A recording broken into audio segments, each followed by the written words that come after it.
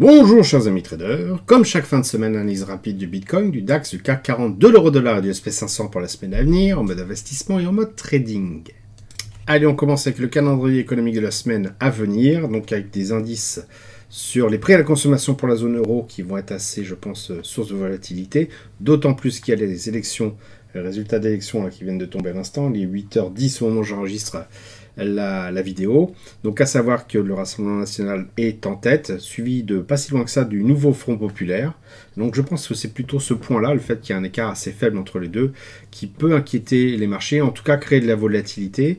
On peut aussi s'attendre à avoir quelques mouvements sociaux assez euh, importants, puisque déjà avant même les élections cette semaine au niveau eh bien, de, différentes villes, dont la ville de Rennes, donc je suis assez proche, euh, on a pu voir des manifestations justement contre le Rassemblement national. On peut s'attendre effectivement maintenant qu'il est en tête à avoir une continuation de cette euh, un petit peu instabilité sociale qui pourrait aussi faire peur aux investisseurs.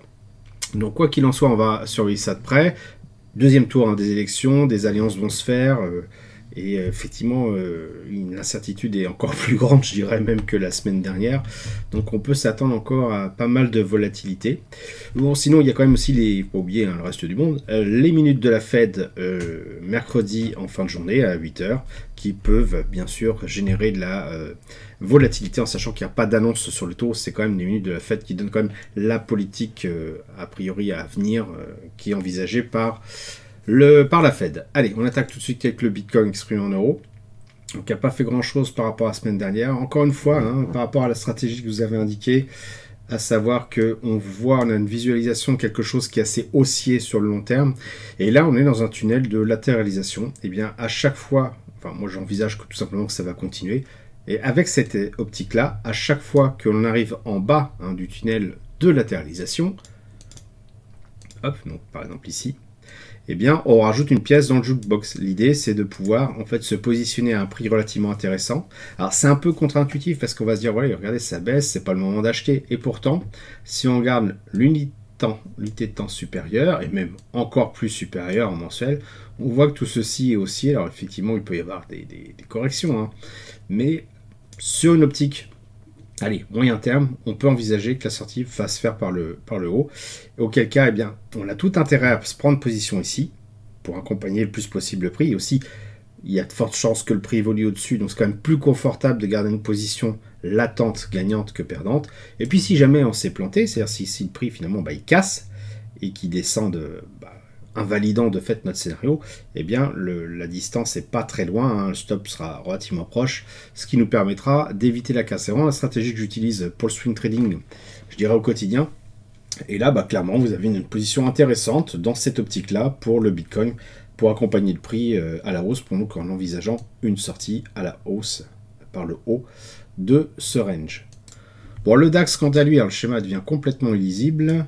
Hop, voilà. Le DAX, quant à lui, n'a strictement rien fait de la semaine. Je pense, comme je le disais déjà la semaine dernière, il était attentiste bah, par rapport aux élections euh, françaises. je ne pense pas que ça va changer encore grand-chose cette semaine à venir. C'est plutôt celle d'après que ça risque de, twister un peu. Donc, bah, je dirais même l'analyse que la semaine dernière, on reste très attentiste euh, sur euh, le DAX. Puis on verra sur le dollar par extension, c'est à peu près la même chose. Bon, le CAC 40, lui, a quand même pas mal dévissé hein, cette semaine. Je m'attends pas à ce qu'il remonte la semaine prochaine, c'est-à-dire dès demain. Je pense que ça va continuer à baisser. On a également un récit, hein, si on finalise technique pure, hein, sans regarder euh, tout ce qui est fondamental. On voit un récit en dessous de 50. Un stochastique qui fait pareil, c'est extrêmement baissier. Sur l'unité de temps supérieure, ce que je vous avais indiqué la semaine dernière, c'est qu'il fallait vraiment qu'on casse le RSI, qu'on rebondisse dessus et qu'on reparte pour euh, valider hein, euh, bah, cette fin de RSI haussier. Bon, le stochastique nous donne clairement le chemin d'une baisse. Euh, là, c'est encore un petit peu juste. Là, c'est un peu tiré par les cheveux. Hein. Mon schéma ici est certainement quelque chose qu'on attendrait un petit peu plus. Et donc, sur le long terme, on est quand même sur une tendance qui reste haussière. Hein. Regardez, hein, sur le mensuel, tout ceci haussier, RSI et stochastique sont relativement bien orientés. On est au-dessus des moyennes mobiles, c'est quand même assez clairement haussier. Maintenant, en weekly, on voit qu'il y une, y a une correction, il y a un gros crack. Et on est pile à la limite, vraiment, regardez, le RSI, là, il est à 45-41, donc vraiment en dessous des, 50, mais pas très très loin. C'est pas forcément très, euh, très facile de pouvoir déterminer ce qui va se passer d'un point de vue analyse technique pure, hein, ce que je disais déjà, d'ailleurs déjà la semaine dernière. Maintenant, si on est vraiment puriste et qu'on considère qu'il y a une cassure ici, que le euh, RSI est revenu et qui rebondit vers le bas, on peut envisager le pire pour euh, la semaine prochaine. Je pense effectivement qu'on va avoir un joli gap dès, dès demain. Alors tous ceux qui étaient positionnés en vente à découvert ou euh, par exemple sur le, BX4 hein, qui est un, ETF contrariant avec en plus un effet de levier. Bon, je pense qu'ils vont apprécier. Maintenant, voilà, cette baisse là, il faut pas s'attendre non plus à ce que ça, euh, en tout cas la semaine prochaine, ça dégringole trop sans corriger. On va avoir effectivement un mouvement d'excès et puis après ça va certainement se stabiliser. On va certainement pas euh, voilà, dégonfler tout d'un coup toute cette hausse-là en une seule fois.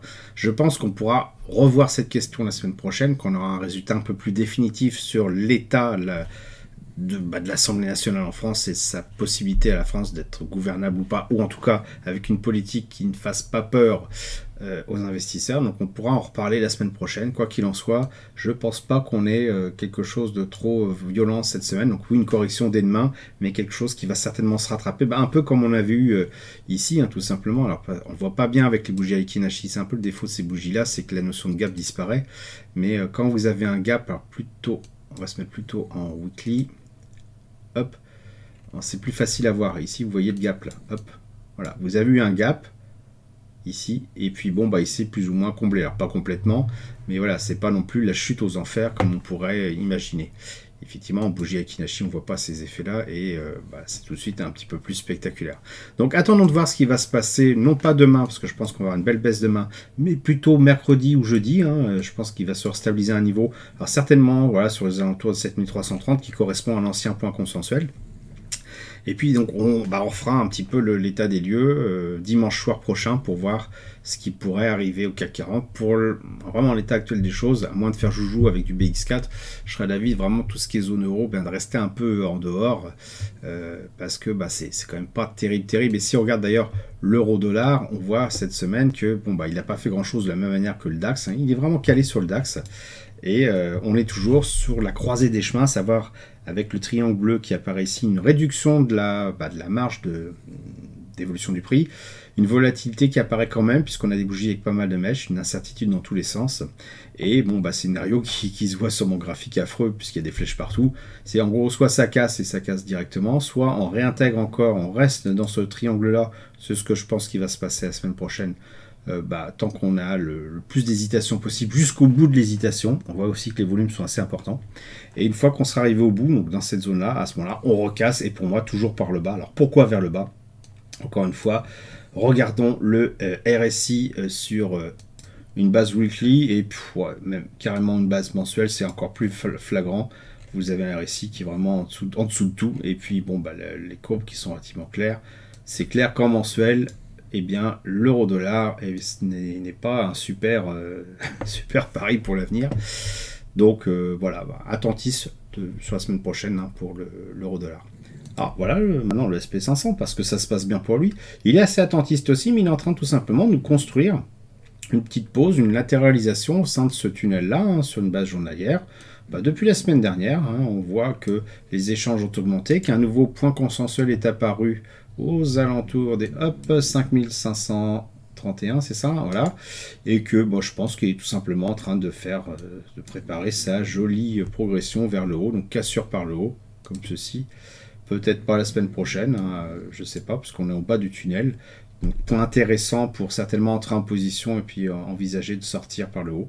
Donc un SP500 qui se passe, euh, bah, qui se tient relativement bien et qui, tient la route, qui même sur le long terme, on peut pas dire qu'il soit euh, amorphe. Voilà, j'espère que vous appréciez cette vidéo. Si c'est le cas, merci de laisser un pouce pour m'encourager à continuer. Abonnez-vous à la chaîne YouTube pour ne rater aucune nouvelle publication. Je vous dis merci et à bientôt sur le blog.